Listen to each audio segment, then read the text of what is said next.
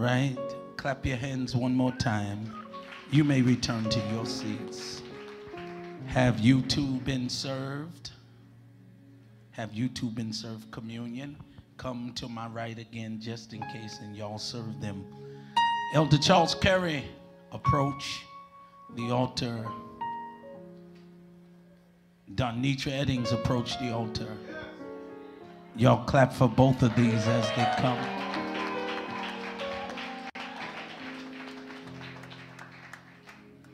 I don't do things by the script because I am truly prophetic and I walk in that. I've watched Elder Curry for a long time, long time. Still watching. I believe in him. Church, amen. Dedicated man, hardworking. Nobody knows you, that's why they ain't saying amen. Loves his son to life. Passion for music, but we heard him minister about a year and a half ago. And he talked about the fruits of the Spirit. He didn't try to be anyone else but himself.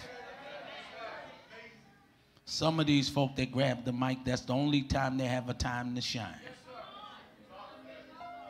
But he's a servant.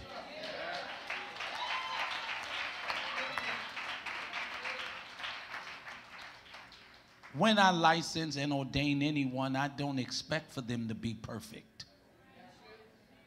I'm not perfect. I'm a bad mother, shut your mouth.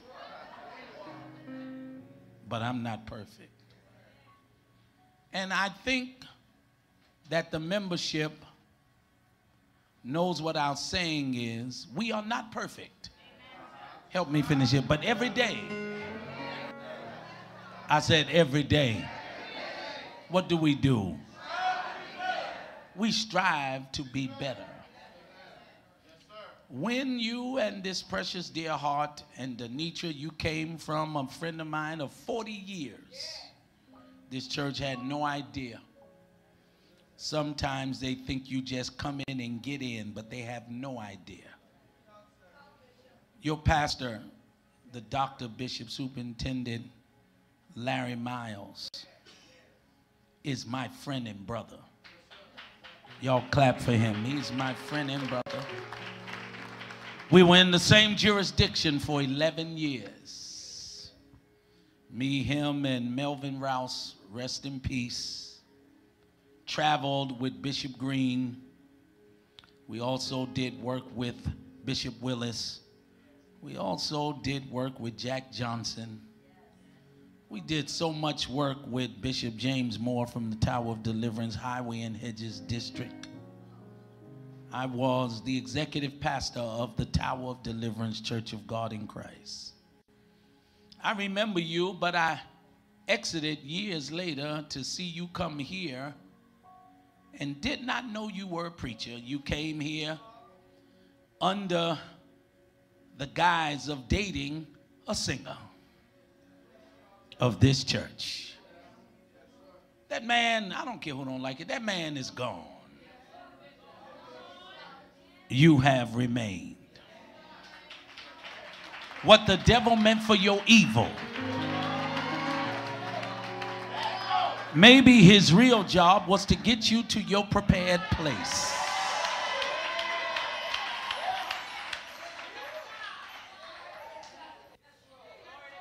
Back to you, Curry, then one more time with you. If I ever saw a man that I know his greatest pain is his love for his family, wishing that he could be God for them. That will really never happen. But if God be for you, I wish I had a church. Who? You in Lasante are greatly appreciated here. I've known your pastor for 33 years. Okay, I've known him, the Bishop Edgar Vann, for 33 years. I preached for him, one of the largest ministries in Detroit. I've heard your project. Y'all don't know he's got a full project on Apple. He's a bad guy. His son had to get it from somewhere. I know the mama gonna say he got it from me too, but I'm not ordaining you today, wherever you are. But Curry, we give you honor. And then the Bible says to both of you, let an elder that rules well. This is where it begins. You must rule well. You can't respond like average members. You can't make excuses like average people. You can't allow average to be a part of your personality. He that ruleth well is to be given double honor.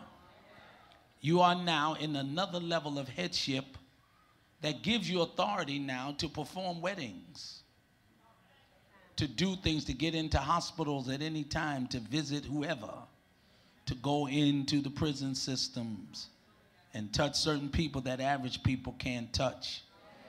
You can even have a lot of power in politics and in the courtroom if you conduct yourself in such a way that the judge recognizes who you are in the Christian community.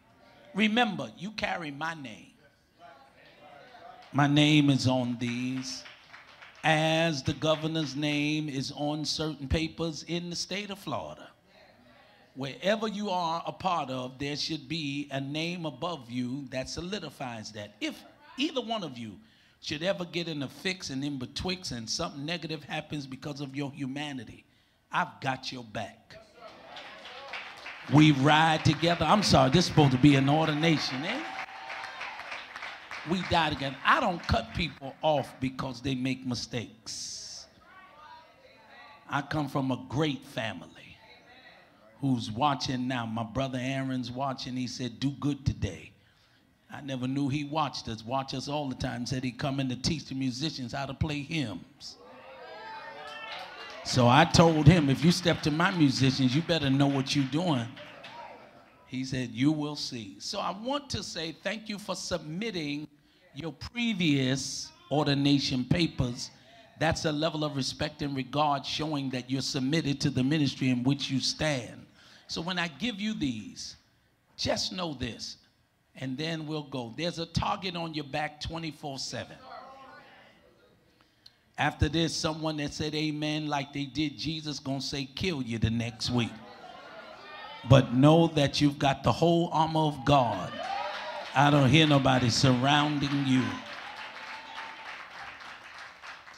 Well, here goes our seal. It's several seals. You will be addressed from this day forward as Elder Charles Curry, unless you allow people to call you anything else. You're Elder Curry.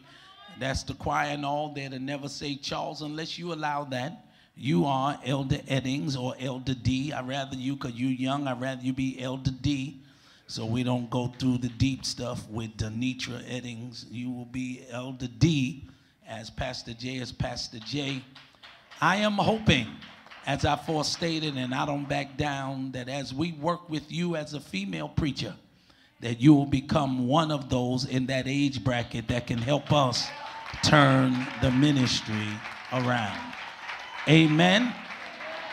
Ladies and gentlemen, sons and daughters, mothers of the church, I am now submitting these ordination papers to these now that are known as Elder Charles Curry. He will take it and hold it. And this one here, Elder Donitra Eddings, they will approach me. I will lay hands on both of you, which is very rare. I've not laid hands on any of my bishops. I'm not laid hands on any of my pastors. But you all in here belong to me. And I have to be who I have to be. Point your hands this way. Now, Father, we do thank you. Give me that oil. We do thank you for this kind man, this gentle giant, this seasoned man of God who have come through the ranks. You've brought him from Egypt to Canaan.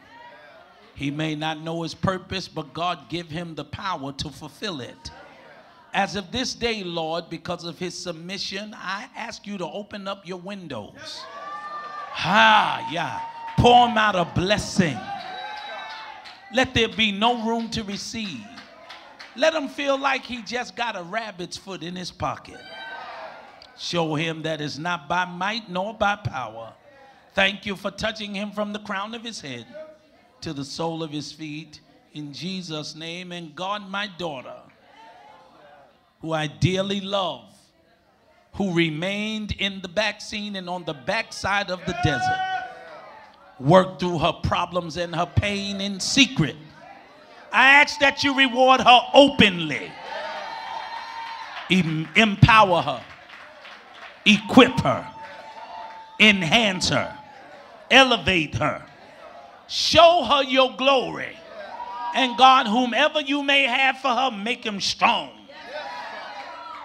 bold, courageous, but most of all, loving. Now let the words of my mouth and the meditation of my heart be acceptable in thy sight. O Lord, you are my strength and my redeemer. I would that both of you who have been pen, face, and open up your ordination papers to your brothers and sisters. Let's receive Elder Charles Curry and Elder Donitra Eddings.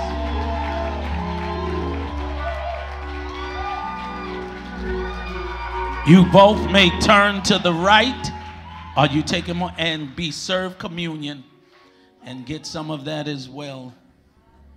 Amen. Has everyone else taken communion? No? All right, well, then I will exercise that authority. I will exercise that authority because you don't go from the prelate backwards. So I will exercise that authority. Everyone that has your sacraments, please get them. Open up your package and lift up that white cracker, which is the body of the Lord Jesus Christ. And this here was broken in remembrance for us. Within this is the healing power of God. When we take it, remember who died for us to take it. You are digesting a part of who he is to get rid of a part of who you were. Take, eat. This is my body.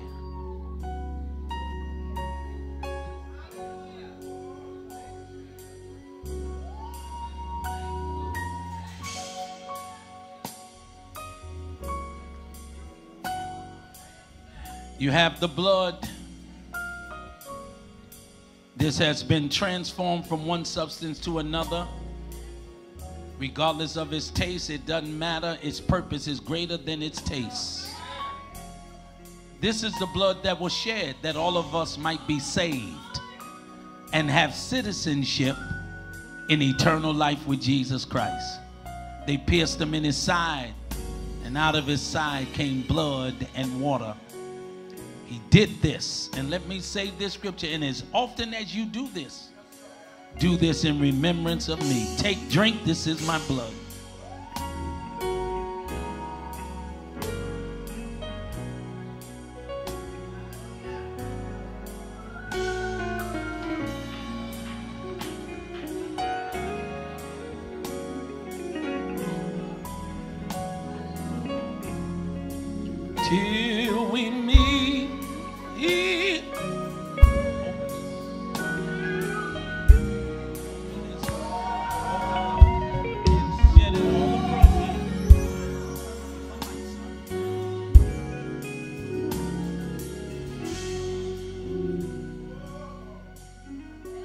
Hang it on the, the plant. Hang it on the plant and just leave it there.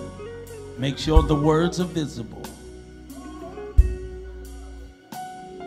You may be seated. If you're happy this morning, clap your hands and tell God thank you.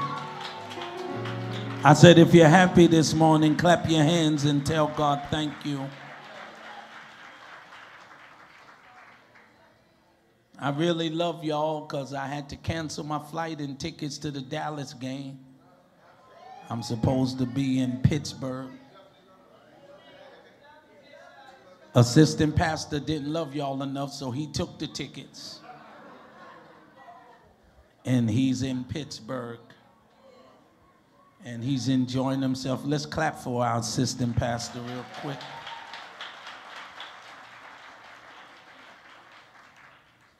I appreciate him. You can bring this down just a little bit. I appreciate him. And uh, he needs to enjoy life. It's good to have our executive pastor in the person of Dr. Sonia Mixon.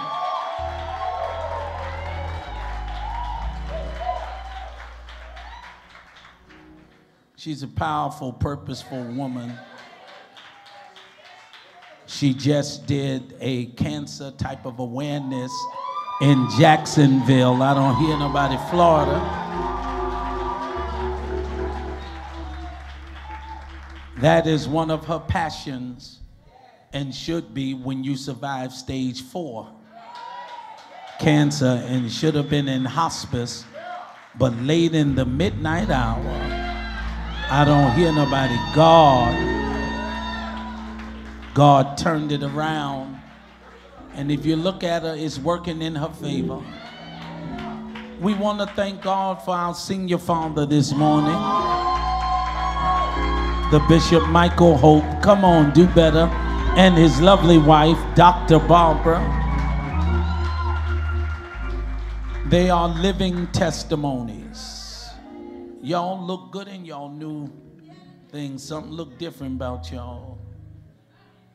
I want to, and don't play too much, I want to acknowledge some guests today. Most of the people in this church are our own. Can y'all clap for that? They're our own.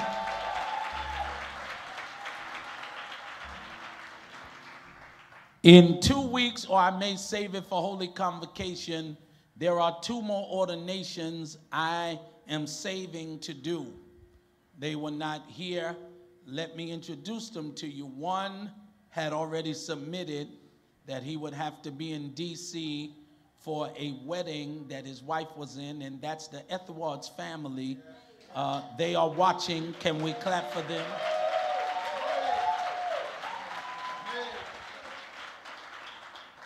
He was supposed to be standing here, but we're going to be licensing him and his wife and a man of God who's been ordained elder in the Church of God in Christ. Then he also became ordained through the College of Bishops, Bishop Jesse Delano Ellis, which makes him completely a beast, makes him a terrorist in the kingdom. Elder Murphy Stan will be consecrating Elder Murphy in the back. Lovely wife, Stan.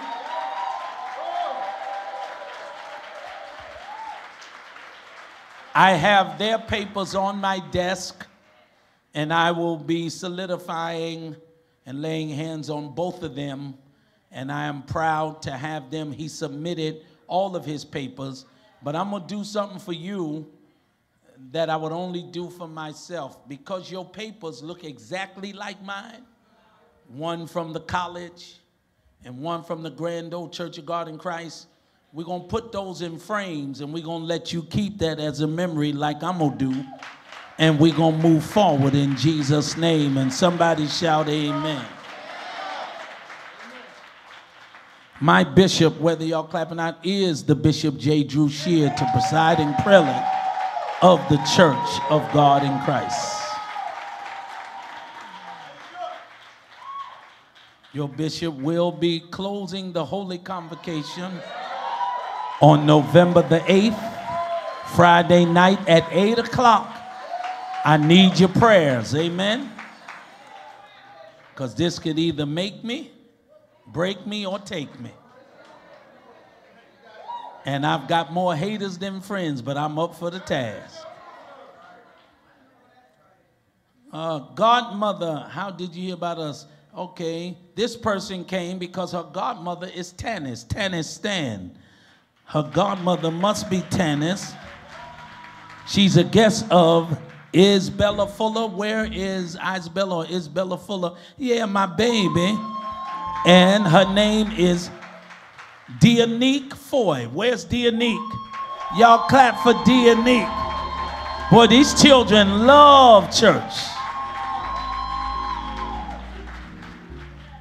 These people are guests of our lovely newly ordained deacons, Tracy Cleveland, and they're from Cleveland, Tennessee. And I want to announce them Annalise, Jordan, and Christian Bradford. Where are you all? Will y'all stand? Please stand so we can love on y'all. Did I say all of the names right? Did I, which name did I mess up? Annalise? All right, sit down. Because I can tell I did something wrong because young people give that look.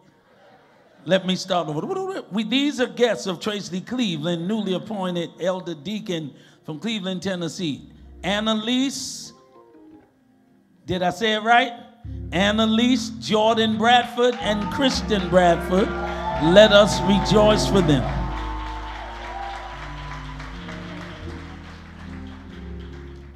Last but not least, these are guests of the Lockett family, Stan Lockett family, so we can appreciate you. Their guests are from Hill City Church, Los Angeles, California. David and ja- Jamaica and Eden Anderson. Where are you? Let's clap. Hey!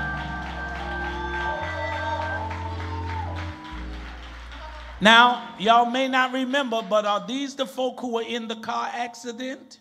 No. Okay. Well, let me ask you, because your name appears on my Cash App for offering all the time. That's you? Yeah. You don't mind her giving the money because I'll give it back to you. you. You want me to give it back to you? Yeah. You all right with it? All right, because if you got any hustle, man, I'll cut you a check right now because that. I just don't want in trouble. She probably on the DL trying to get y'all a new house by sowing into the kingdom of God. I don't hear nobody, so I'm trying to help you.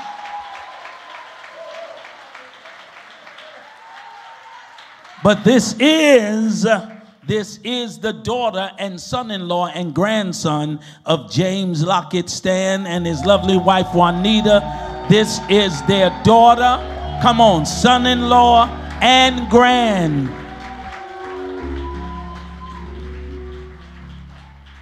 This say grandson, but that don't look like no boy. This, huh? Yeah, get on up and tell him. Get on up and tell him that you saw it. Yeah, get on up. Yeah. Uh-huh. Amen.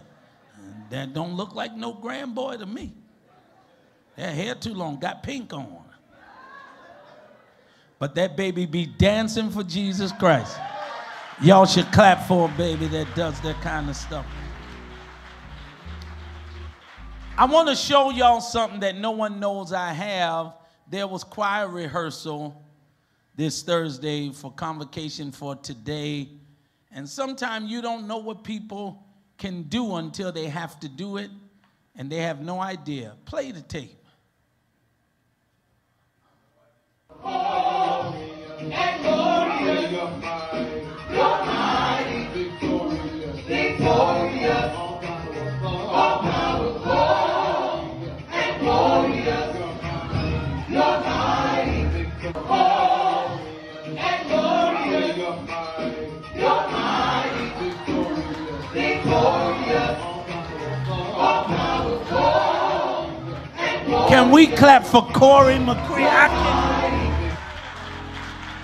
You never know.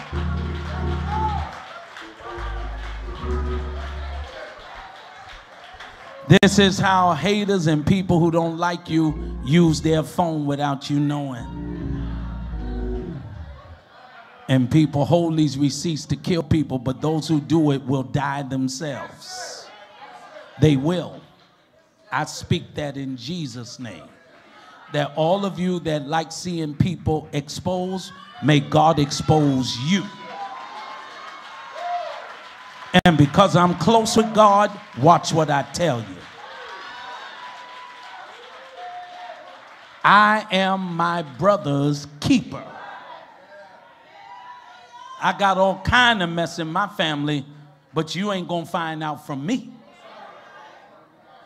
I got all kind of baby pictures. I got all kind of receipts. But you ain't to find out for me. Everyone has an appointment with a mistake. Will you tell someone what I just said? Everyone. And when yours come, you better hope somebody is a top sheet, fitted sheet, cover, quilt. You better hope somebody can cover you in the cold. Corey, I'm glad that wasn't a bad tape. Because I would not have played it, but I would have showed you. You're all right with me, boy. The whole band is bad. We've got the baddest Levitical gospel, y'all ain't screaming, band in all of the world. We've been pretty consistent. We ain't we ain't we ain't had to swap out nobody in a long time. We ain't had to fire nobody, well a little bit, but God fixed it. But we ain't had to do too much of anything.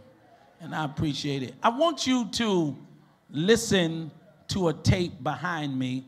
Make sure it's clear to be heard. Just listen and then let me walk. And before I do, this now is says caution. I was parked in a certain place on last evening and they threw an event there and this tape was everywhere. Normally when I see this tape, I think somebody died. Y'all ain't from New York then. Normally when you see all that yellow stuff, you be like, somebody died.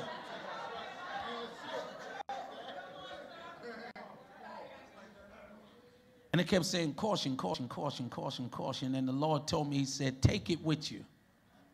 Put it at the altar. He said, leave it there while you preach. He says, anyone that ever steps up on this ground again, know you ain't right, you gonna get it. And it's gonna happen in 24 hours. We don't use this to hide. or to have power over people. Now, y'all think I'm playing. Everything I speak happens quick. If people don't start repenting, because you're not perfect, all of us have a date with a mistake.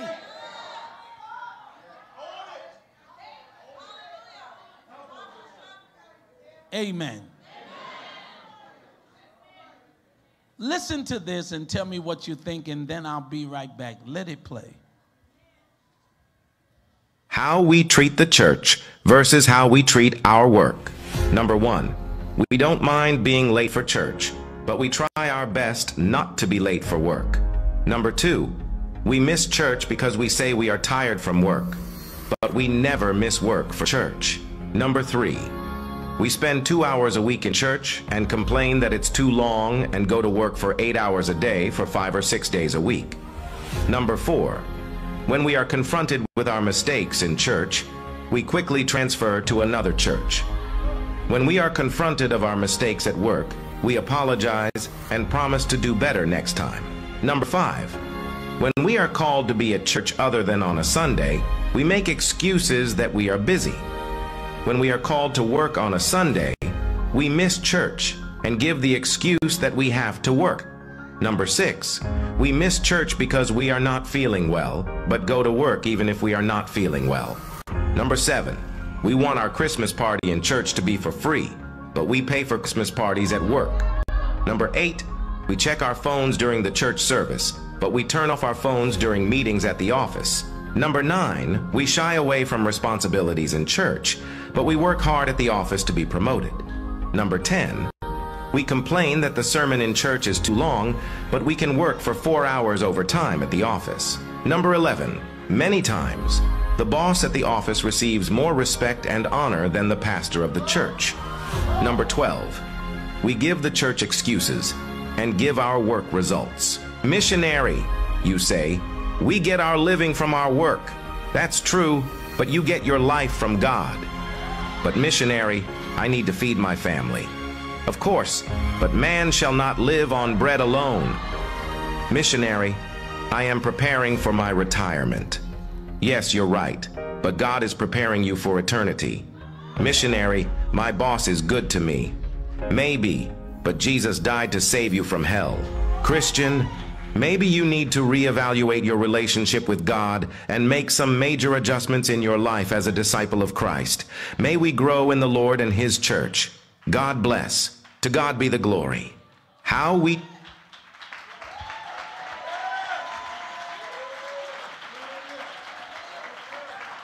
I appreciate you that applauding and standing because it's needed. Needs to be heard by somebody more than myself. You never make an excuse for what you do miss in church when it's God who protects you while you do what you do, especially if what you're doing does not include Him. His mercy endureth forever. Let us pull up our declaration. Those who don't mind standing can guess you don't have to unless you choose. We're going to say this because I believe within this statement, within this proclamation, is the cure for this ministry.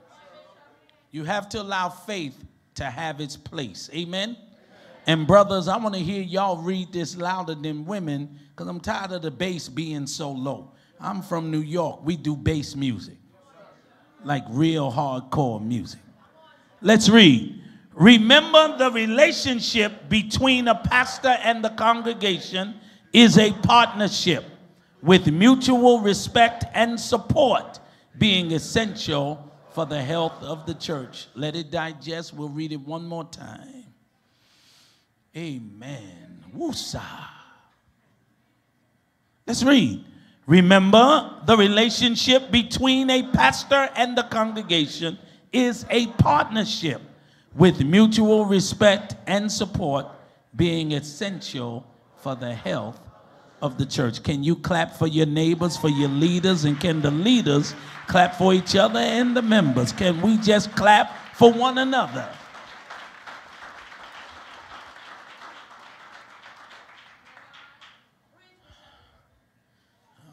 I'm, I'm, trying to get out of here in time to catch a private jet to Pittsburgh.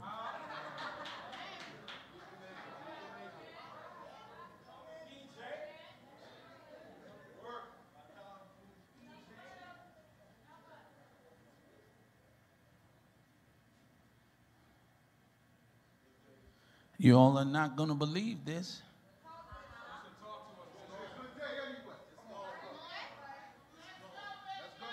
Yeah, we going, but I got to find this sermon.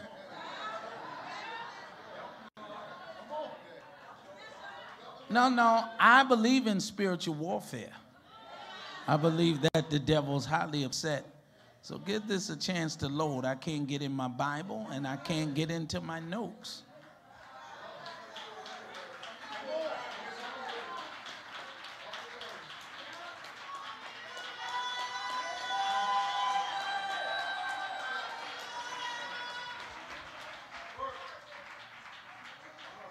I can hear somebody, I don't know who you are, you said shut it down and restart it. I don't know who said it, but I heard you, you're in the back. Oh, well, he running. All right. So I'm gonna shut it down, bring it back. Y'all clap for my man.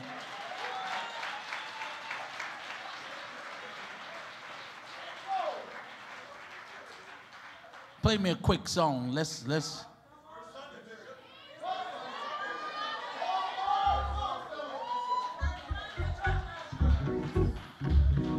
What is that?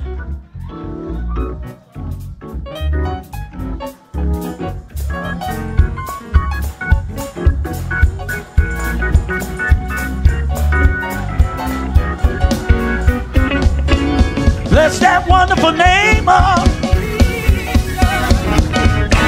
the book of John, chapter 2. The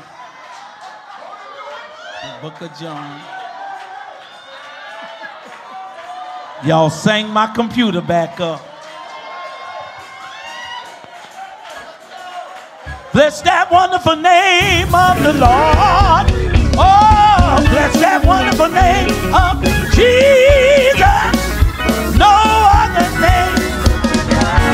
Come on. There's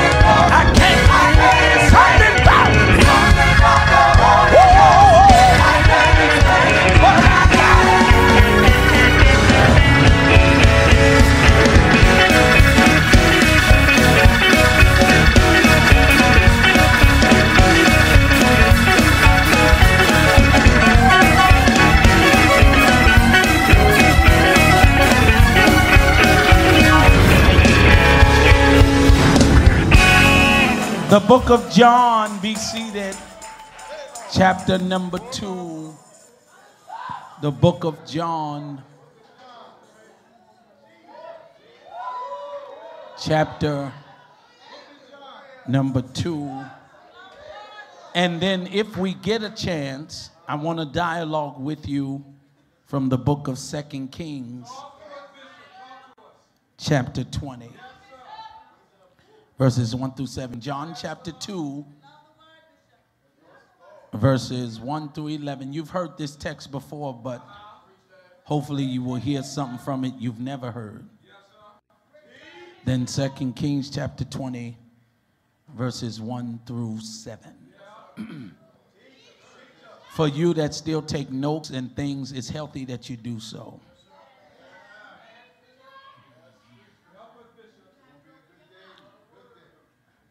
Here beginneth the reading of God's word and made sanctified in our hearts throughout the week. And on the third day, there was a marriage in Cana of Galilee, and the mother of Jesus was there. Both Jesus was called and his disciples to the marriage, and when they wanted wine, the mother of Jesus said unto them, They have no wine. Look at somebody and ask them, What have you run out of? Y'all got to stay with me now. His mother saith unto the servants, Whatever he saith unto you, do it. And there were set there six water pots of stone after the man of the purifying of the Jews, containing two or three firkins apiece. Jesus saith unto them, Fill the water pots with water. Look somebody and tell them the empty places are about to be filled. And not just filled, the rest of the text said filled to the brim. I told you September was a September to remember. October is the month of fulfillment. November is the month of enjoyment. Look somebody and tell them, I'm looking forward to all of this. They filled them up to the brim. Verse 8, he saith unto them, Draw out now, and they bear to the governor of the feast, and they bear it. And the ruler of the feast had tasted the water that was made wine and knew not whence it was, but the servants which drew the water knew. The governor of the feast called the bridegroom, saith unto him, Every man at the beginning doth set forth good wine, and when men have well drunk, then that which is worse. But thou hast kept the good wine until now. Tell your neighbor he's still saving the best for last. I do want to say this because you might be sitting near someone who doesn't like talking to strangers or people at all. So you so please don't get offended if you don't get a partner to correlate with. But let me say this for three folk who were drunk. When you are drunk off of good, you don't know what's bad.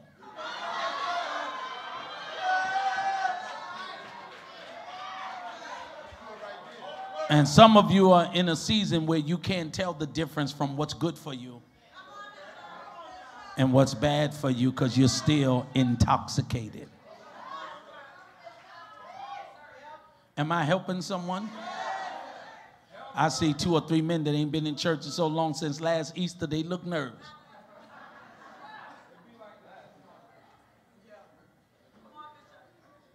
This beginning of miracles did Jesus in Cana of Galilee. He manifested forth his glory. Y'all ain't gonna believe this and his disciple believed on him. Let me talk to some newly elders and deacons because the church won't talk. All of this miracle working that was done at the wedding was because he was with a group of unbelieving followers. I just found out God's giving our church miracles because of the unbelievers that are present. How are y'all with Jesus, seeing him do what he do and need to see? And this miracle is not even something spectacular. It's it's it's a it's a wine. What makes this wine transformation a miracle for my three educated screamers? Let me give you the topic first, because we've had the miracle in the mud. I wish I had members who go to church. We had the miracle in the mess. Then we had the miracle in the meal. Today is the miracle in the drink. Will you tell somebody and tell them there's a miracle in the drink?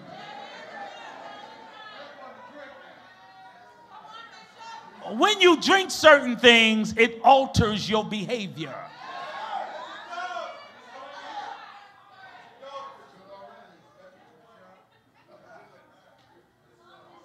Look at some of y'all. I'm glad he's saying it's okay to drink. I didn't say that. See, we've got two or three in the middle that's looking funny. So now you're going to say, because Jesus made wine, it's all right to drink wine. Now, now, now if you want to come preach it, proceed with caution.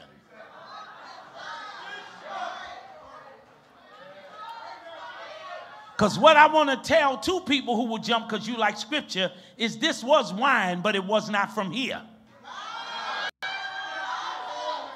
You can't judge until you trace the source.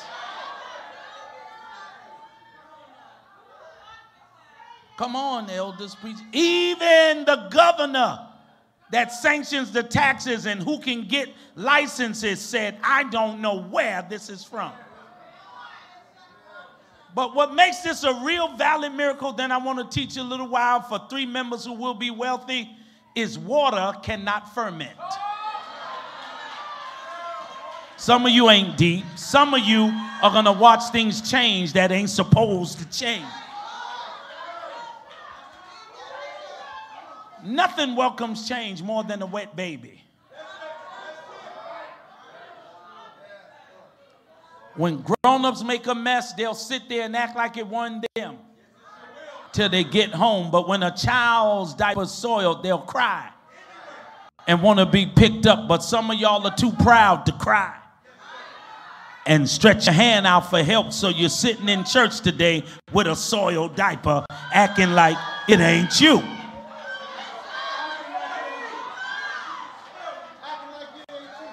We all need help at certain junctions and points in life. But help is not volunteered all the time. You got to learn to swallow your pride and open your mouth whether you get the help or not. Sometimes you have to make known I need to change. It's funny that when a father, most fathers hold their newborn who they love and claim looks like them, that when that child does its first real mess in the diaper, they give this boy to his mama. Why do you pass your mess over to other people instead of changing it yourself. Some of y'all look hardcore. Some of y'all look like you came from out of jail. Homie, I done did it all. Don't let this red dress fool you.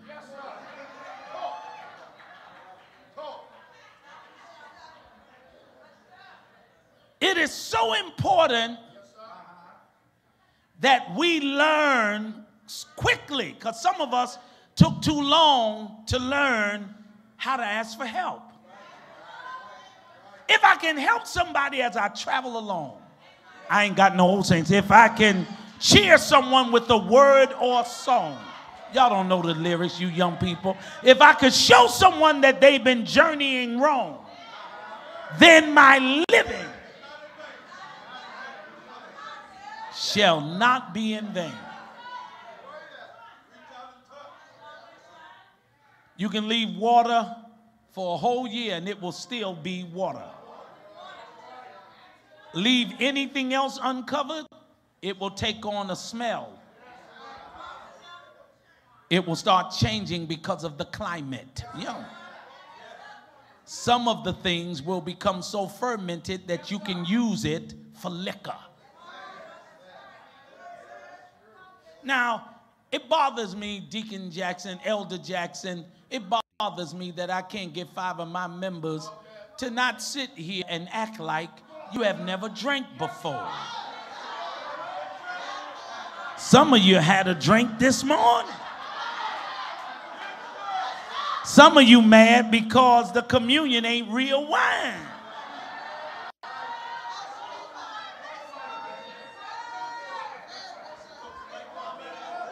Trying to get your hit every first Sunday.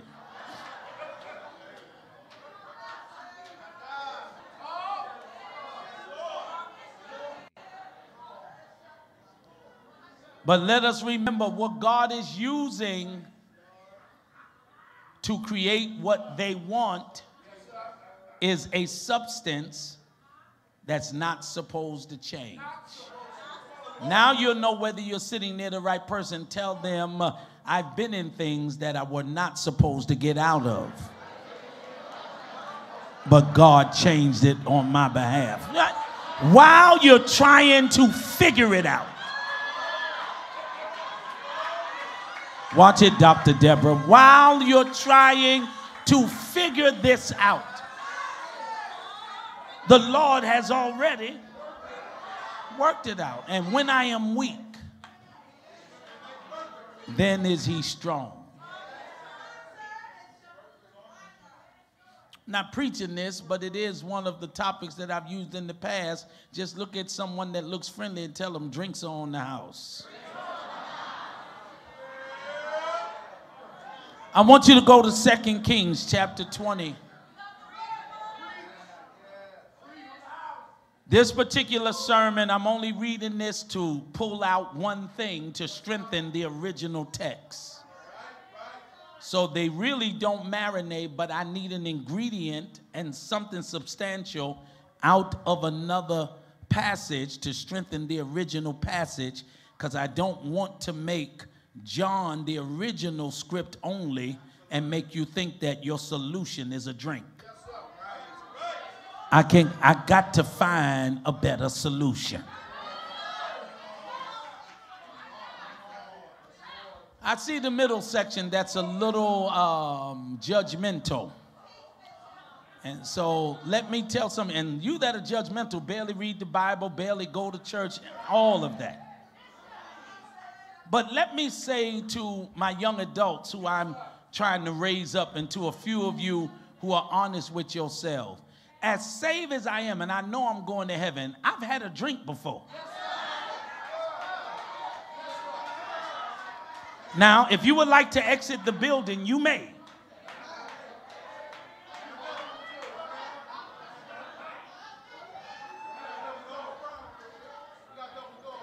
I have confessed this 15 years ago when my marriage was dissipated and my former wife, my ex-wife said something to me that crippled my soul. And it drew and it drew me to do a few things. But I told it in a college setting that's on a tape that's being sold across America called Confessions and Transparency. I did this video 20 years ago and sold over 50,000 copies. People wanted honesty. People are tired of you judging them for something you've done yourself. But I ain't no pastor. I don't give a Hades what you are. If you are saved, the rules are the same for all.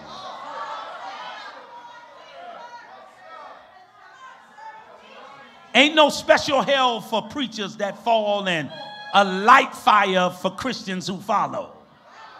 The temperature is the same for everybody. So when you have mercy on others, God said you'll obtain mercy for yourself. Let me read. Blessed are the merciful. Why y'all ain't talking? For they shall obtain, because you're going to need it, mercy.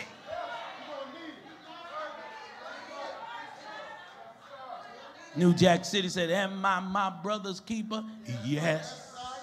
I, but he blew his brains out. That's not no brother's keeper. CMB, CMB, we all we got. You got to watch folk who tell you they have your back, and they do, with a couple of knives in their hand while they have your back.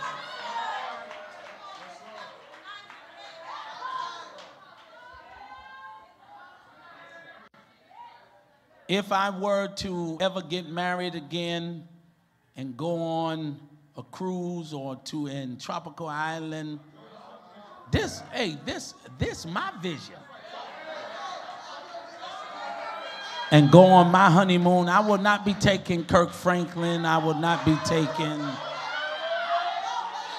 Mary, Mary. I love them all. They know me. I will not be taking Donnie McClurkin ain't going at all. I will not. And I won't be taking Diet Coke every day. I just, I don't think that's how it's going to play out. I might have to slip something in her sanctified drink. Be like, what's wrong with me? You in good hands with Allstate.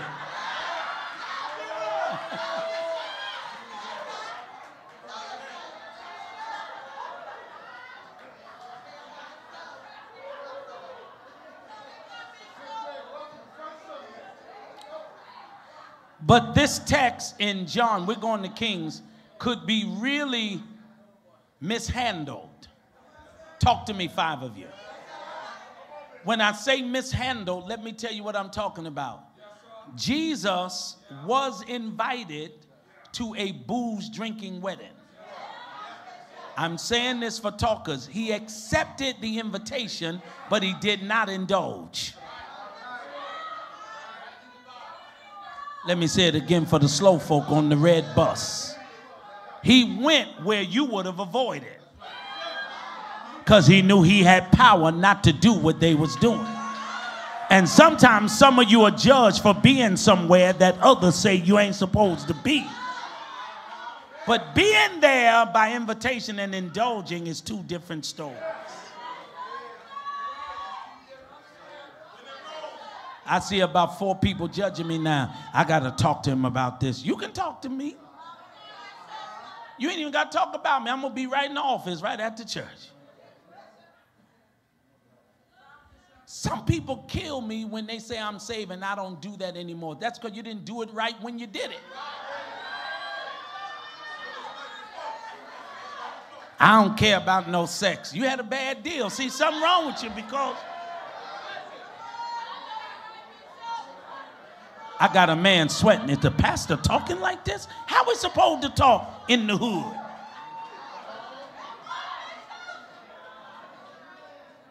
When people have bad experiences in areas that could be good, they condemn that area because of their experience.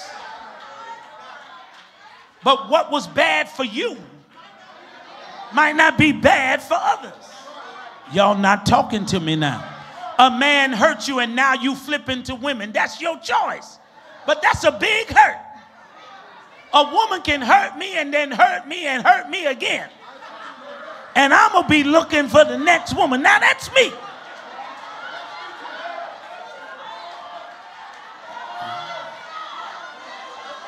I'm going to function as I'm programmed to function.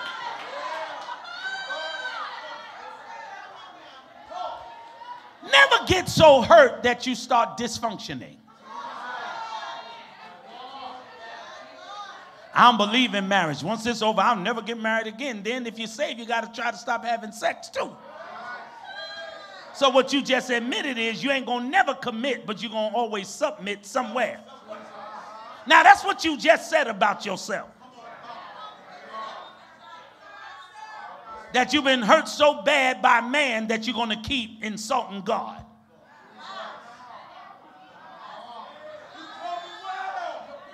I need my young adults to talk to me because this side ain't saying nothing now. We all, I'm going to Kings, and then I'll need about 25 more minutes. We all, in one point in time in our life, will get sick of something or someone. Touch somebody and tell him, now I know he ain't lying. He is not lying. And you that scream real loud, it's the choice you made. Whoever got close enough to hurt you, you let them in there. And some of you didn't get hurt because they trespassed or betrayed you. You got hurt because they found out who you are.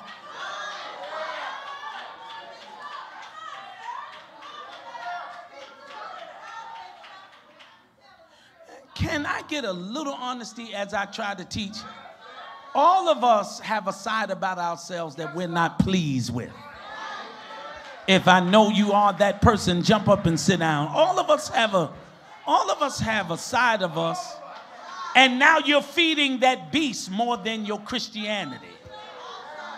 Because you're letting the ugly side defend you from something that your God side has equipped you to live through. Now, I just preach. My God side has equipped me to live through things that my ugly side is telling me not to live with at all.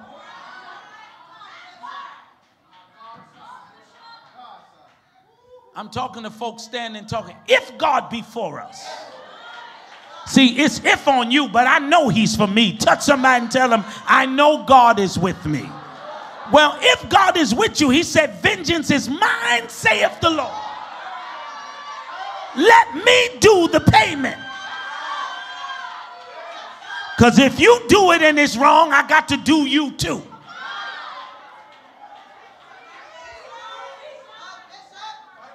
It's better to let God fix trouble in my way.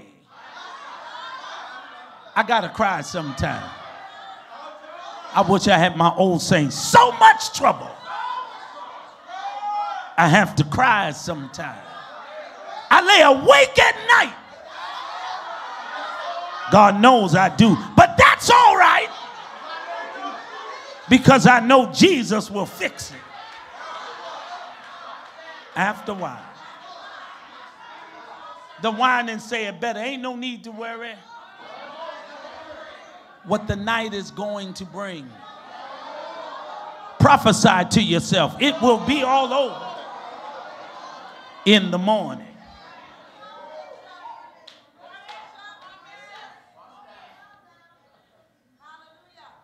Hezekiah is sick in this text. And if you read from verse 1, for two folk will push me, in those days he was sick unto death. I want the left side to support me today. This side right here, look up. I want y'all to talk to me here. And the prophet Isaiah, the son of Amos, came to him and said, Thus saith the Lord, set thine house in order, for you're about to die and no longer live. If I say this and I waste it, I feel bad because I feel like I should have preached it on at, a, at another church. But if two of my members catch this, I won't feel bad. And that is, he, he, he heard that word, but he changed his posture. And I'm about to tell some of you something that you ain't gonna believe because I need me a talk church. Hezekiah never asked God to let him live. For all of you that said that, you lied.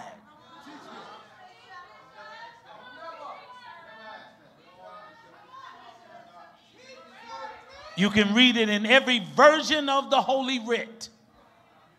This story is in Isaiah and in Kings. Let's finish reading it. Then he turned his face to the wall and prayed to the Lord, saying, I beseech thee, O Lord, not spare me, remember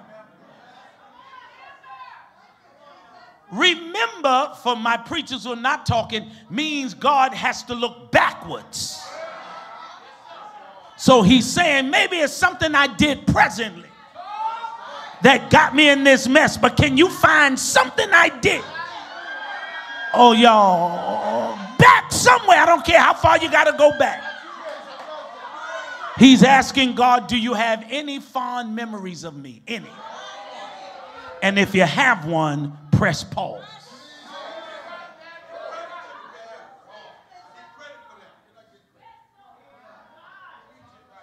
God is not pushing pause where you made the mistake.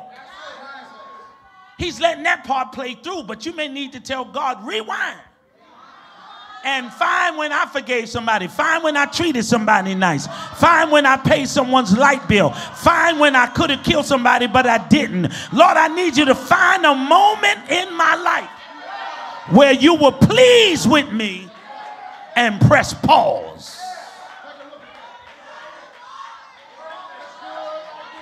Most of you have that memory, and if I bring you to it and you don't jump, I'm gonna be mad. But if you jump, we'll let the tape roll on. That was when you did something that shocked you. I can't believe I didn't do this. Boy, the old me would, if you said anything like this, the old me. See, some of you can't say old me because the old you is the same you.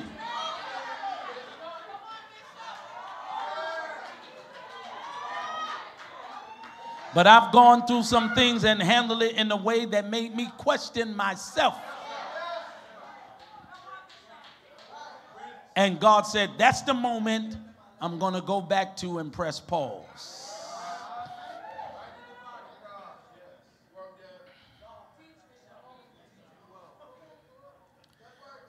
I think I need to put something deeper out there, being that I see faces going through some contorting and you look a little disconnected, might as well make it a little more crucial for you. And let me say this for three folk who be honest and jump up and be honest with yourself. Some of you, to be honest, you didn't really learn the sin till after you got saved. It's the truth. Because if you grew up with my grandparents, you didn't do nothing while you were a sinner. You were too scared. Bus gonna roll over you. They prayed and told you you better not go outside. We respected the oil of our ancestors. But now, even with power, there's a generation that is not afraid.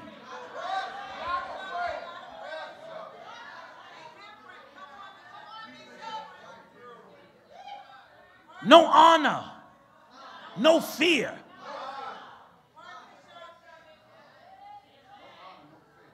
It's making the world a terrible place to live in.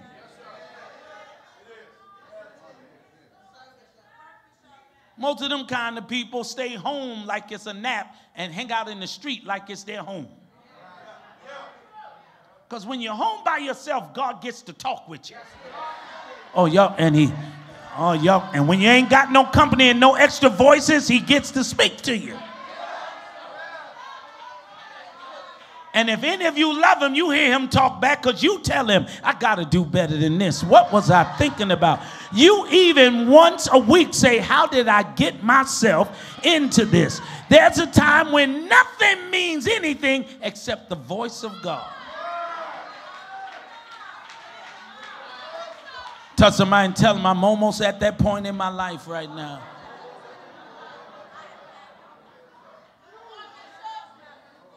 Remember me how I walked before thee in truth and in a perfect heart, and I've done that which is good in your sight. Then Hezekiah wept sore. His issue continued. He did not ask to be healed, he asked to be remembered. Let me teach to those who are hungry came to pass afore Isaiah was going out into the middle court that the word of the Lord came to him saying, Turn again. Tell Hezekiah, the captain of the people, Thus saith the Lord thy God of David thy father, I've heard your prayer. Y'all, I've seen thy tears. I'm about to heal you. Let me talk to praises. And this word changed before he got off the premises. I want to speak to praises before you get off this property. Some things that were not supposed to change.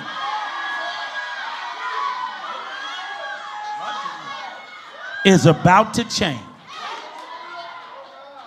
Let's keep our focus. They're not supposed to change. Water does not ferment.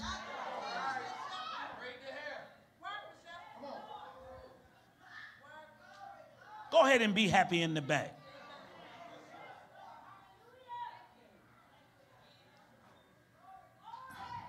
Came to pass before he gets out of the middle court, told Isaiah, Turn, tell Hezekiah to come to people, Thus saith the Lord thy God, thy father David, I've heard thy prayer, I've seen thy tears. Behold, he's not adding time yet. He said, I'm going to heal you. Y'all gonna miss this. And the healing was not where he was praying. He had to make it to the house of the Lord. Uh, he had to make it to the house. On the third day, thou shalt go up unto the house. Everyone that made it here this morning, I'm want to preach, regardless of what's making you sick or what you have run out of.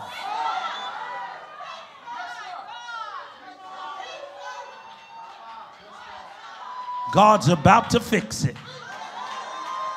We're almost there.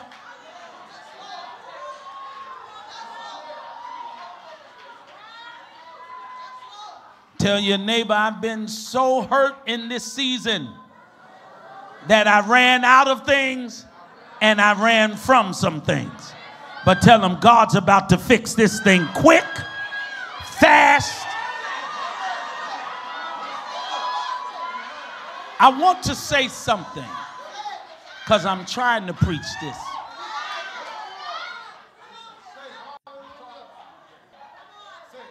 You work in the prison system.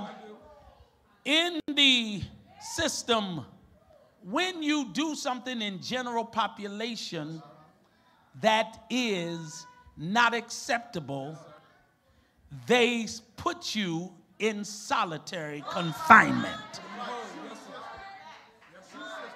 You are calling it a hole, and I'm with you, but they put them nicely in solitary confinement. Let me say this to five folk with a mouth. Even when you play cards alone, it's solitaire.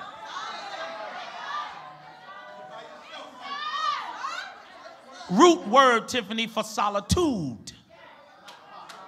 Now, Dr. Mixon, stay with me because you got to preach. You up next now. Understand me clearly that when they put you in solitary confinement, the slough or the hole, this is a punishment. And when some of you are so hurt that you stay to yourself, you have put yourself in solitary confinement, playing with yourself. Because you don't know how to act in general population. Gen pop scares you.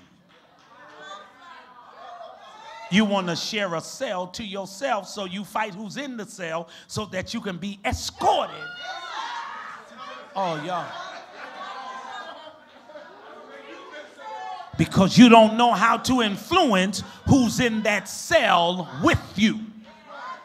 Some of you that have influence should never want to be by yourself or with people you get along with. Influence is not for folk you get along with, it's to teach folk how to get along with you. Influence is a power that makes people that don't like you turn and work for you. You don't have influence, you've got attention.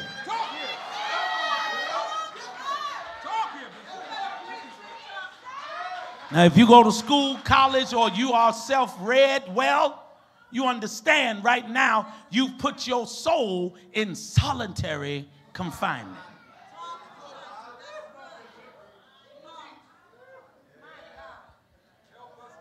He said, Now your healing is in the house of the Lord.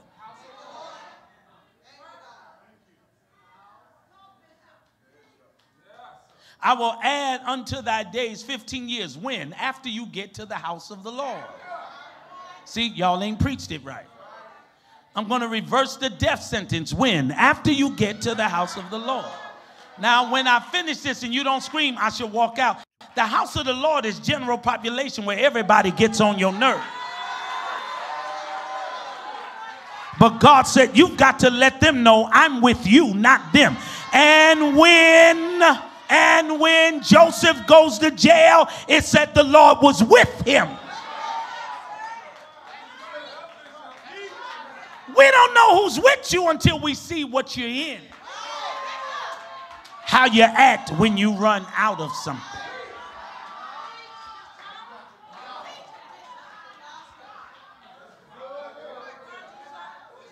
Touch somebody and tell them, This is my word for the month. I feel it. This is my word.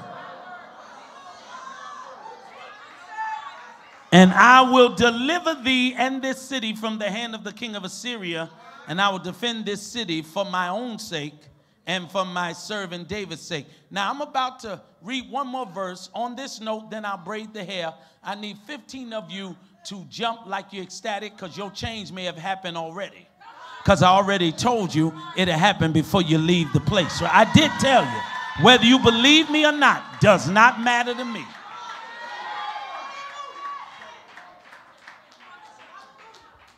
But here is where I want you to hear me. Don't stand, I want you to hear me.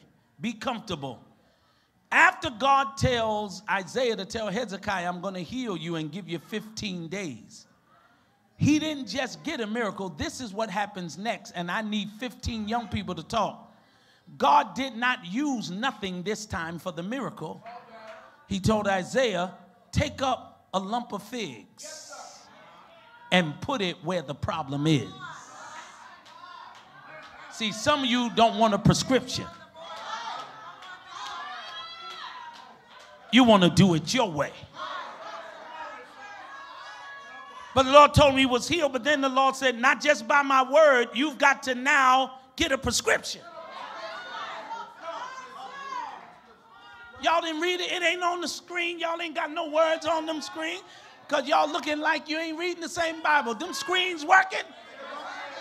Take a lump of figs and laid it on the boil. And he recovered. God didn't get in him, he got in something that he put on him.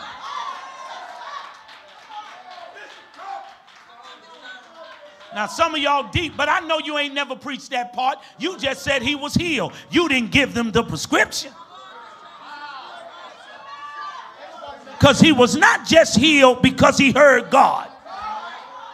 He heard God, then he had to apply the instructions of God.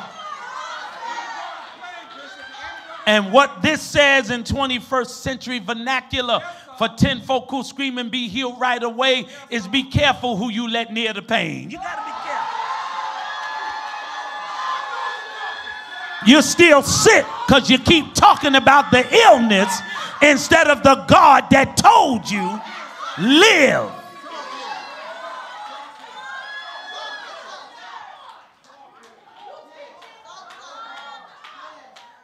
Yeah, you hurt me, but you can't hinder me. You hurt me. But I ain't talking about you.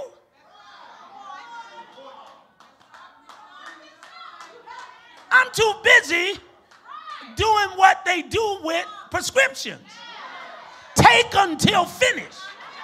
Even if you feel better and the symptoms have subsided, keep taking it until it's finished. Some of you are sick because you try to change friends to feel better. Feeling better is not doing better. You don't know you're healed till you stay where you hurt.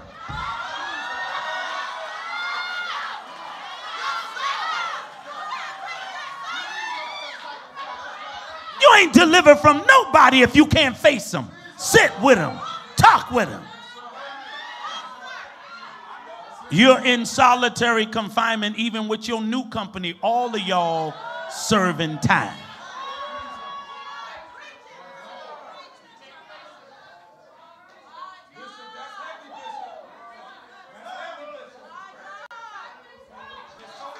Let me say this with 10 minutes left. I may not hoop here today.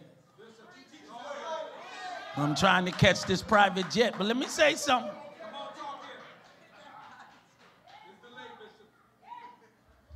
Hezekiah gets healed before the word that he received gets out off the premises. Whatever I preach or teach to you today, don't let it get off this property. When you head to your car, about face turn and do a Hezekiah and let the devil know I'm turning my back on you. And get you some figs. Y'all don't want me to preach because certain figs and grapes is how you make wine. Y'all, I want you. And what does wine do? What does wine do? It applies to the womb uh, and it takes the infection. Oh, y'all, it's an antiseptic. You don't have to drink it, you apply it. Folks looking at me like, that's good. I knew it was going to be good when I studied it.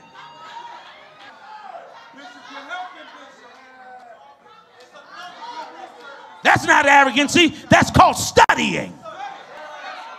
And you going to steal it for one of yours.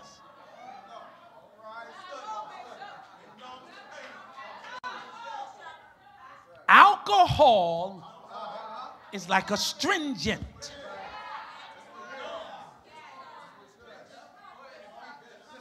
It is antiseptic. It disinfects the possibility of what could happen to the womb that was unattended. Oh, y'all are quiet now. And some of you don't understand. You still don't understand. When you read wine, because y'all going too far, the Bible lets us know that the greatest, strongest prescription he gave the man was the Holy Ghost. Now, if I say this and preachers don't jump, and remember something wrong with how long you've been preaching compared to your response. But the Bible says when they were filled, the people outside said, You act drunk. And he said, We are not drunk as ye. He didn't say we weren't drunk at all.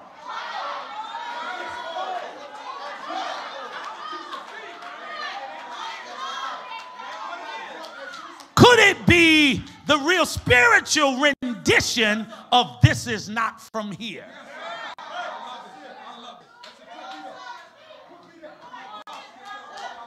Could it be for dreamers that they got a taste of what they were going to get a whole whiff of? Yep, some of y'all still ain't talking, but that's fine.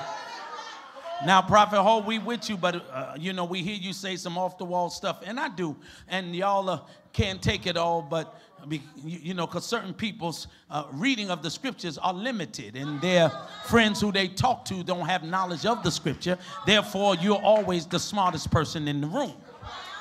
But here is where you get some common sense. I thought the first time the Holy Ghost came was in the upper room. It was not. That's not true. See, I just heard somebody to my left and in front of me. Because in John, the Bible said God called his disciples and breathed on them and said, Receive ye. But when he sent them to the room, he said, Go wait to be endowed with power. Oh, maybe you didn't know. And it said, John, thy son, was born with the Holy Ghost. And then his mama received the Holy Ghost. Then his daddy got blessed by. Listen, y'all, some of y'all just so religious, you don't know the Bible. See, some of you mad that we didn't get it the way you did. See, back in the day, you had to roll on the floor. No, no, that's how I got saved. But I ain't pushing that on my kids, but that's how I got saved. We had to tarry. See, can't get no help. They spit in your face and everything, breath smelling, call Jesus. We had to put up with that assassination. Underarm smelling. We trying to call Jesus.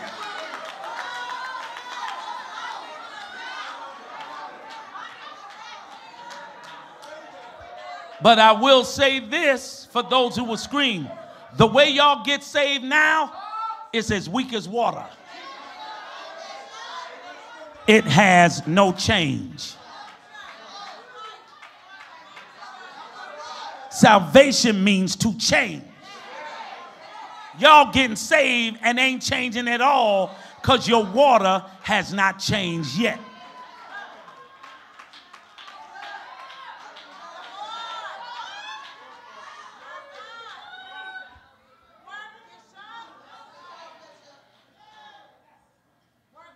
Yes, 15 years. I'm about to close this with two paragraphs in one line. The hidden message in the secret that's embedded in the sermon today that I never shared with anyone before until now. I need a little time to build the text so that it would be considered, because if I don't, it would be considered boring.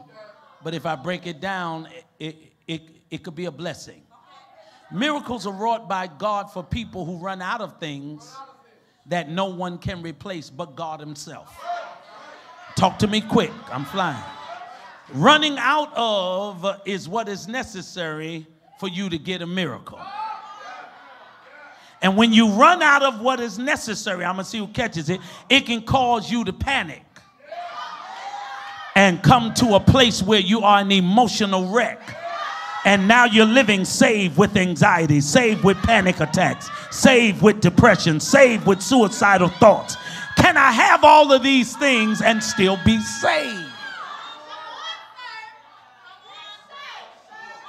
And what's causing these panic attacks and these anxieties and depressions and acid reflux and thoughts of suicide for 10 folk who would scream is ain't nothing changing. And I'm having to sit back and watch the liars and hypocrites get what I feel I should have. I'm not jealous that they have it. But if they ain't living right, how are things going so well? And at least I'm trying to live better and things are not changing at all. Touch somebody and tell them your turn is coming today. Today. Call that person Hezekiah. Say, hey, Hezekiah.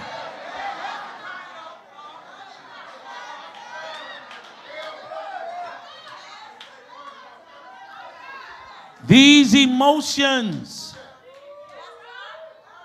they surface when someone's back is against the wall.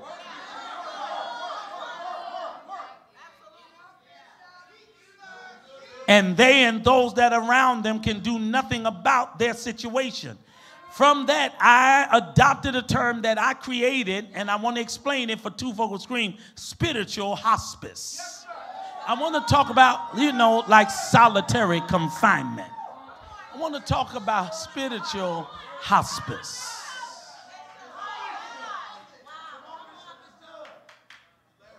If I don't get my preachers to talk louder, Hospice is a type of health care that provides care for people with life limiting illnesses. Which means you dying, but we want you to feel comfortable while dying.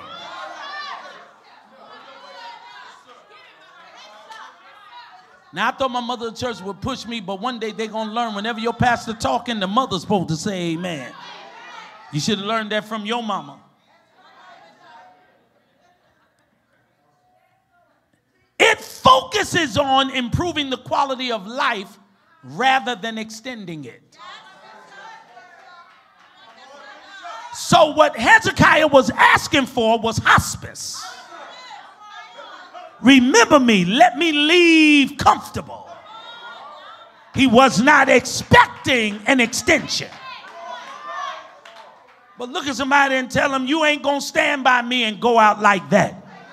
Tell them you're going to finish living your life like you should. Talk to them.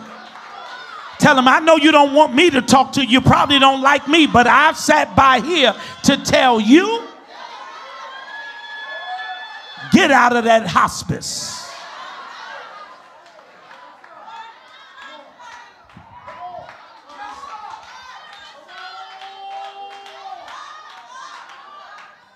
Hospice care is typically provided in your home.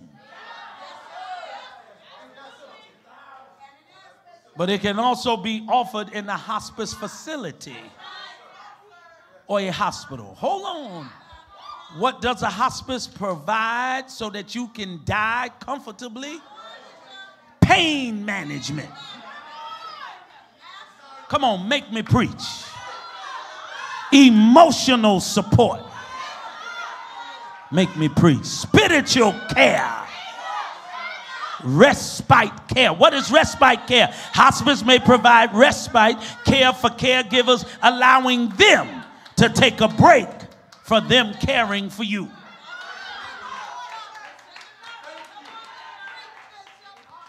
The goal of hospice care is to help patients live their remaining days as comfortably and as fully as possible. It is often considered compassionate and a supportive approach to the end of life's care. What the heck is spiritual hospice.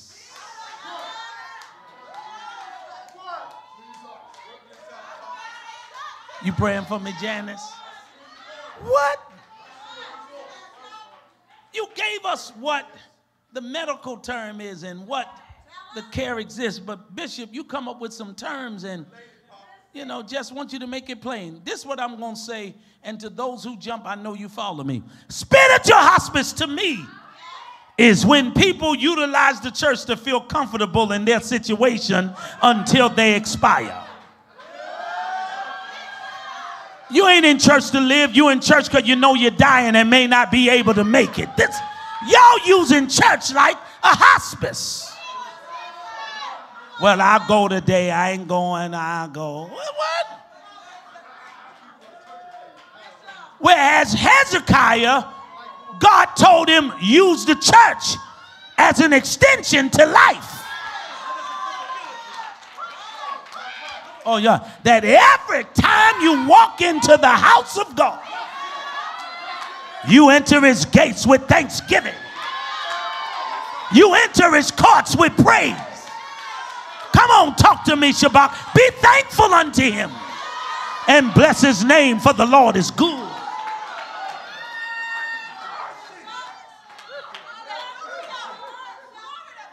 Mercy is if stop coming here like you really hate church.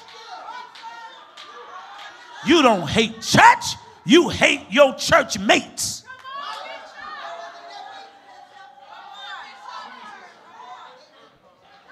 Healing is not in your company, it's in his house. And I will enter his gates with thanksgiving in my heart. I wish I had I asked this side to talk. I will enter his courts with praise and be thankful unto him and bless his name because the Lord is good. Mercy is everlasting and it's truth. Let me talk. David had so many. Now, Elder Curry, one day you ought to preach this. So remember, I said it, play it back, or Charles Jr., write it down for your daddy. This would be something good for you to preach as a newly appointed elder here or anywhere you go, licensed with permission. Catch this. There was a time when David said, My enemies overtake me. I can't stand them, not even them that are of my friends. I'm betrayed by my own household. He goes off he goes off. David the praiser, David the king, David God's man after his own heart. He done. He's telling God, I'm ready to walk away from all of this. And then he writes, y'all are gonna miss it, that my feet had well nigh slipped when I was entering the sanctuary. Which means if the devil could have made me fall before I entered, I would have never entered again. But when he walked in, even though his enemies was there, he found out God allowed him to triumph over his enemies. Then he wrote this verse for screamers, I was glad. When they said, you got to go from mad to glad. You got to go from sad to glad.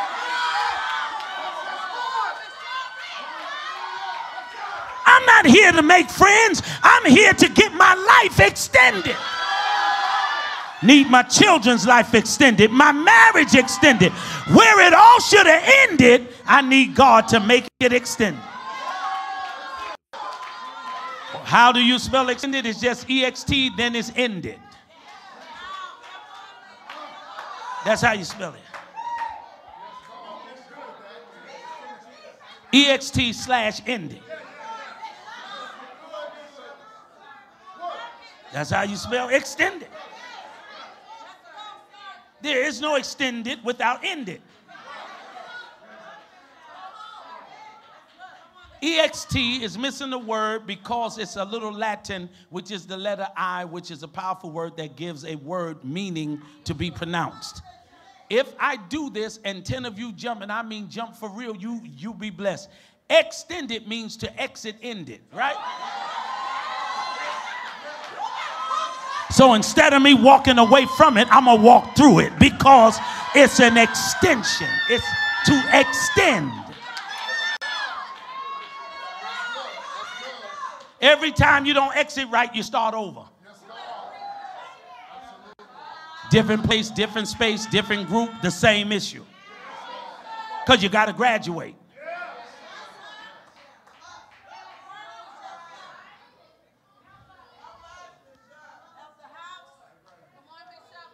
About to close, Tannis. Thank you for praying for me. So that so called liquor in John 2 is only liquor if you drink it. It is medicine if you apply it. Uh-uh. It's what you do with what God gives you. Because if you do wrong, it'll do you. You follow? If I drink it, it controls me. If I apply it, I'm still in control.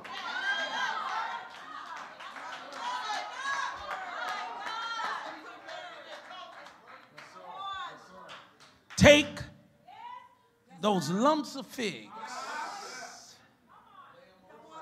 apply it to the womb that's only visible because of the boil. You have, Hezekiah, bleeding ulcers. Uh, I feel church, you have worried yourself to death. Your ulcers have burst, and now you have an opening incision or something visible about to break out from the inside to the outside. We see where it is because something's protruding. Oh, yeah. Oh, yeah. I wish I had my church. But put this application and hold it there. Y'all gonna miss it. And make sure you go to church with it. Oh, yeah and in 72 hours, uh-uh, I'm going to help you recover. What you've been going through for years will be over in days. Yelling. Touch somebody and tell them what I've been going through for years will be over in just a couple of days. Tell somebody else that what I've been going through for years I'll be over it in a few days.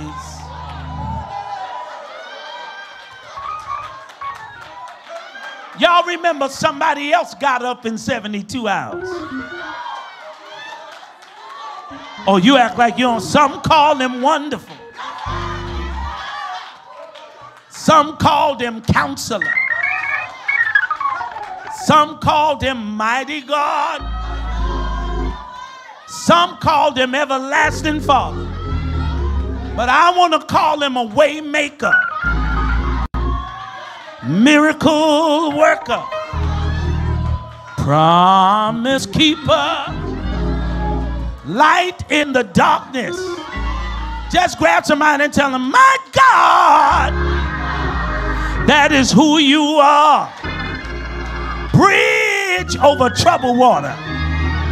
Doctor in the sick room, lawyer in the courtroom, bread when you were hungry, water when you were thirsty, friend to the friendless, hope for the hopeless, mother for the motherless, father for the fatherless, job to the jobless. Yeah! That's who my God is. Touch somebody and say, neighbor, if you drink what the bishop's serving and apply it where you need it, out of your belly shall flow rivers of living water. Y'all better preach to that neighbor. Tell God's not dead. He's still alive. I can feel him in my hands. I can feel him in my feet. I can feel him all over me. Touch somebody and say, Are you the cure to what's trying to kill me? Because tell him, All I need is a word from the Lord. Is God a healer? You ought to say yes. Is God a deliverer? I feel like preaching like my daddy. You ought to say yes. Is God all power? You ought to say yes. Just grab somebody's hand today and say, neighbor, you're the drink that I'm looking for. Tell him I ain't trying to swallow you. I'm not trying to be you. I'm just trying to get healed.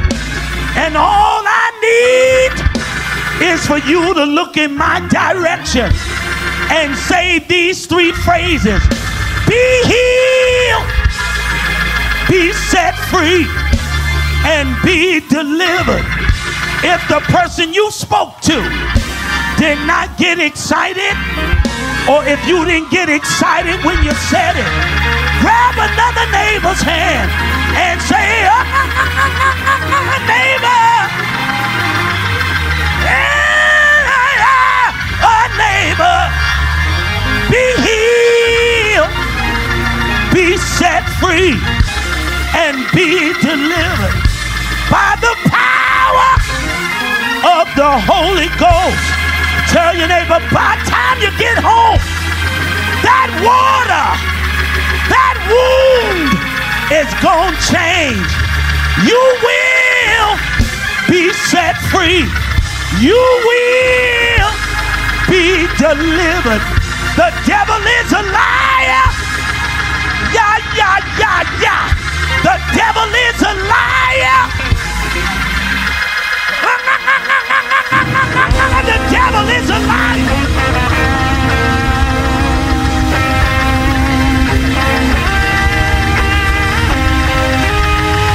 Look at somebody and say, neighbor, where does it hurt? Tell them if it's not physical, you can still locate. If your heart's been broken, lay your hands on your heart. If your mind is disturbed, Lay your hands on your head. If you got somewhere to go, anoint your feet. If you got something you need, anoint your hands and let the devil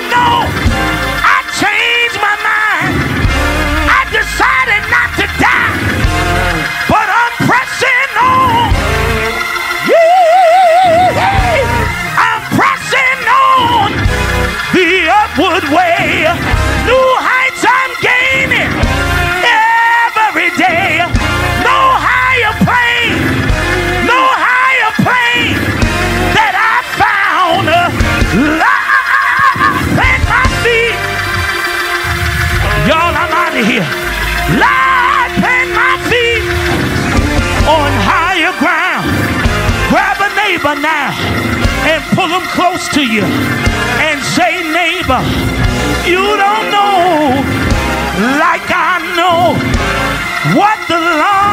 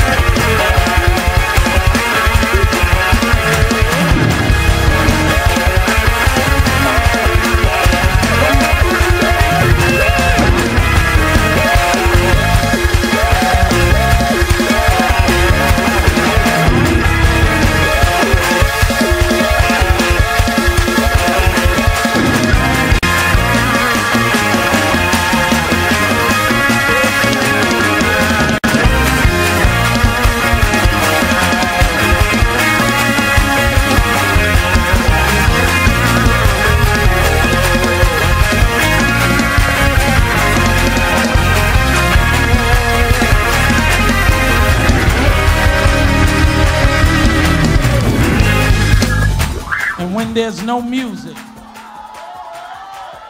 do you have a mouth? Do you have a mouth?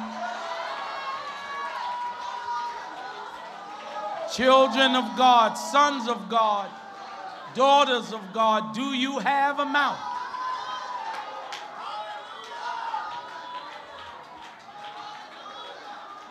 We're about to go home.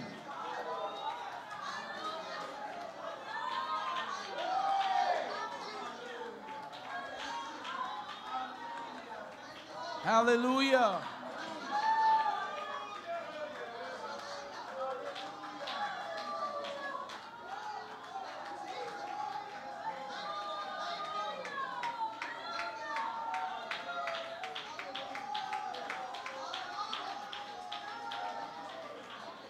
F sharp, D flat, C sharp.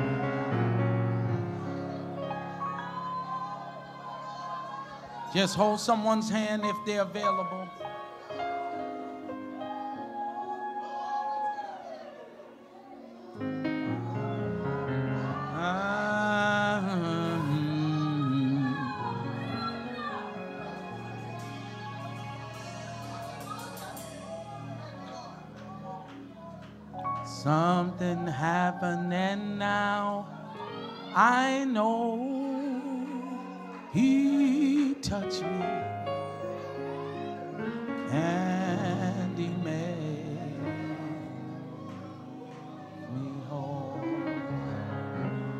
Telling you, being made whole right now.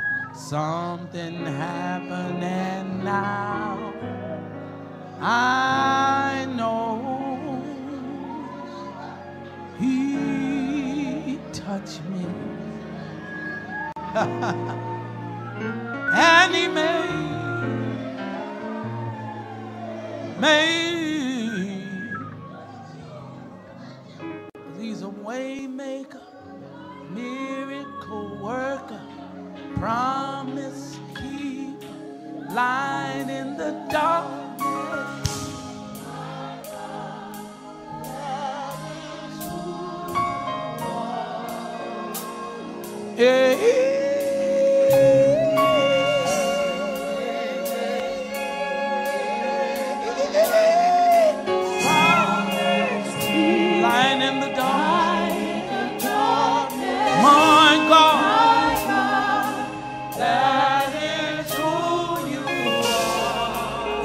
Gotta say it if you can sing or not. Waymaker,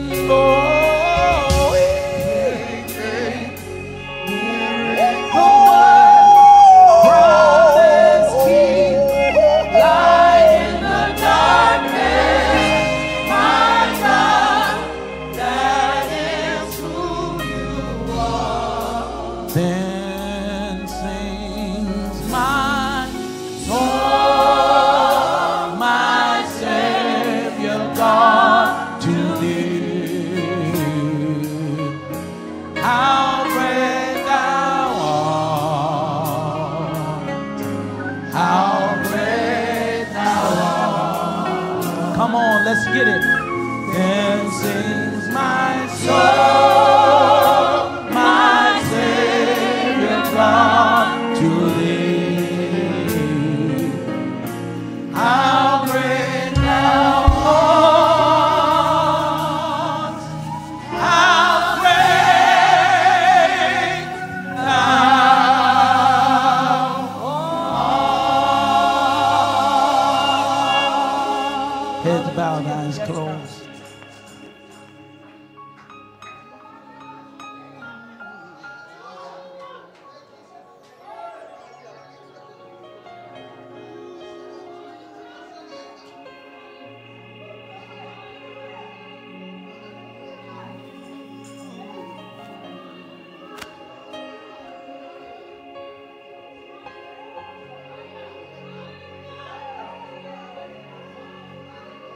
Before you get home. Those empty spaces.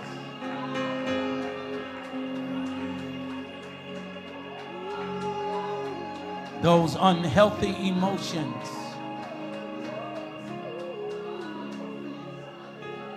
Where the bitterness resides. God's going to give you an antiseptic.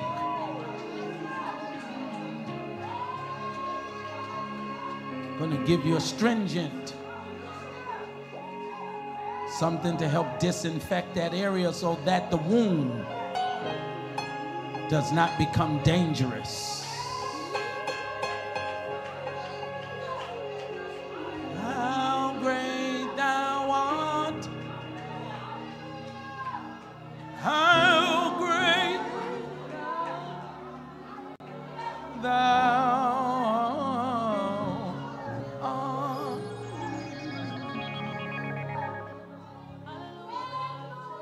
one more song left, and I want y'all to help me. Something about the name Jesus. Something about the name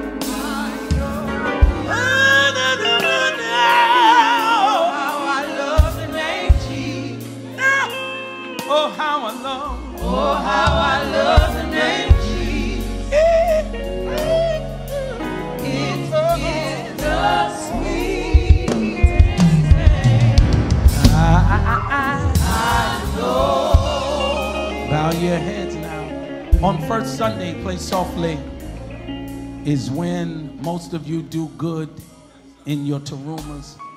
But I don't know why today I'm challenging leaders and those who are in business to sow a $100 or more into the kingdom. I have a business meeting after this that's somewhat huge. I don't think that I'm the person for the deal.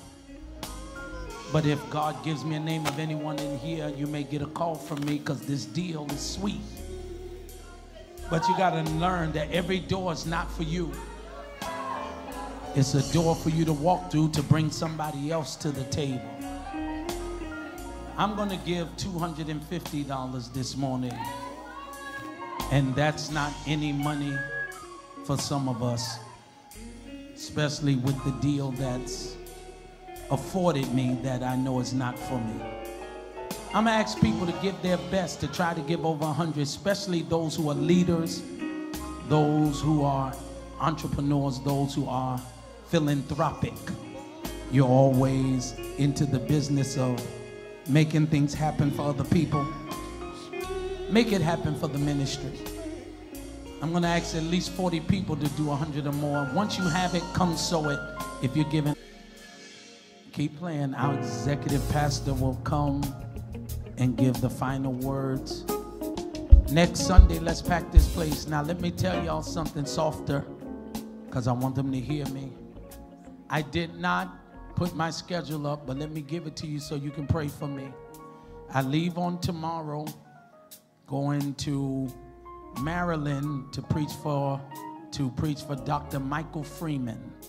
I'll be there on Tuesday. On Wednesday, as tired as I am, unless there is a hurricane that's supposedly coming through here.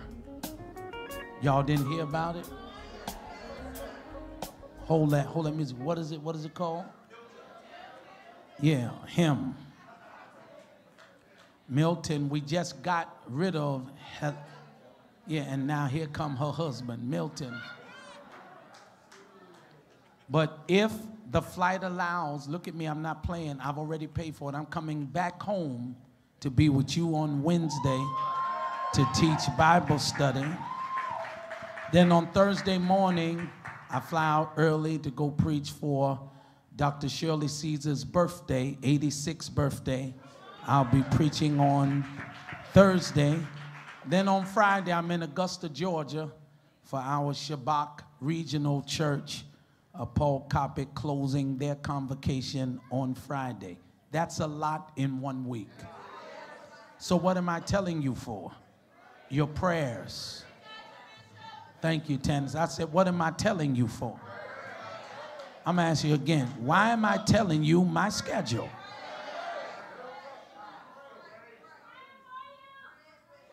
Every time we go up in a plane is dangerous. And I thank God I've been on planes that's been on fire, planes that have almost fallen in the water, planes who have lost their engine in over my 40 years. And yet the Lord says, go. So it's not easy to do what we do. I think Sister Three, we call her Three, I think she's turning 56 years old.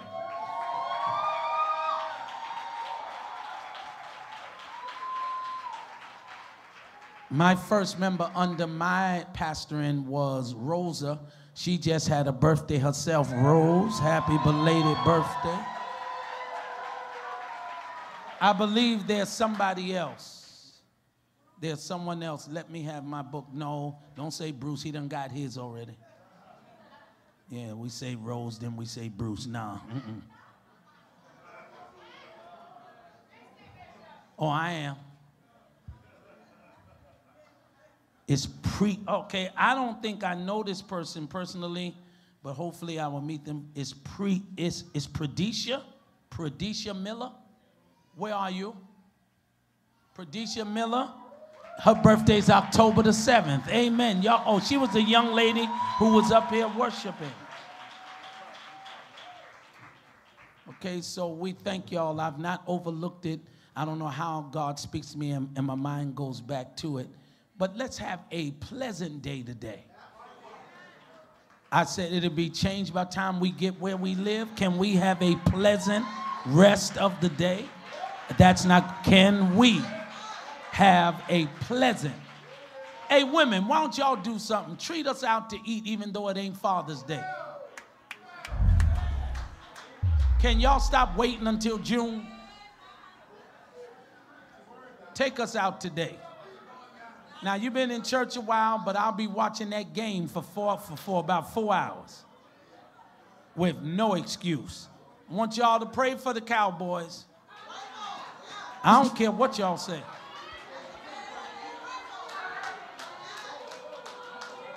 You're only praying for either the Cowboys or the Steelers today. Your prayer got to go one way or the other. Your team is not playing. Stop being selfish. And pray for our assistant pastor who's right now laughing, having a ball in Pittsburgh. We can't stand you. Pray for my other buddy, Mays. He's in DC having fun. We can't stand you. But he will be with me Monday and Tuesday in Maryland, and we'll go forth. I need your prayers because I'm getting a little older, and the time I used to travel, it gets a little hard now. So we'll be gone Monday, Tuesday, here Wednesday, Thursday, Friday, so on. If I'm too tired, if y'all will clap and honor your leader, if I'm too tired, can we let Dr. Mixon preach on Sunday?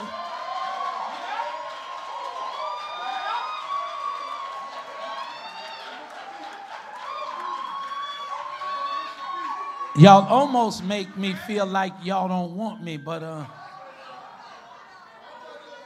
you're fired. It's like Donald Trump messing with. But her word is strong, her study is passionate. If you enjoyed the service, hug at least three people and tell them I'm so glad to be next to you. And the next voice is Dr. Mixon.